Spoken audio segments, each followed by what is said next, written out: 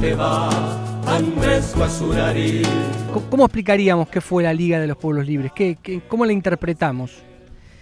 La Liga de los Pueblos Libres por ahí fue eh, más que una confederación, una organización provisoria previa a la organización de la confederación, porque la idea de Artigas era en algún momento llamar a un congreso eh, de todas las provincias eh, que ese sí daría eh, origen a una confederación. Pero hasta que eso se lograra había que organizarse de alguna manera y esa, esa organización fue bastante descentralizada. O sea, había una figura central que era la de Artigas como protector y después había bastante libertad de acción. Algunas provincias se organizaban con la presencia de un cabildo gobernador tipo eh, Corrientes o Santa Fe, más la figura de, un gobernador propiamente dicho, y otras eran más bien comandancias, como el caso de, Misiones o Entre Ríos, entonces había diferentes tipos de organización, todos tenían en común que tenían la, protección militar de, Artigas.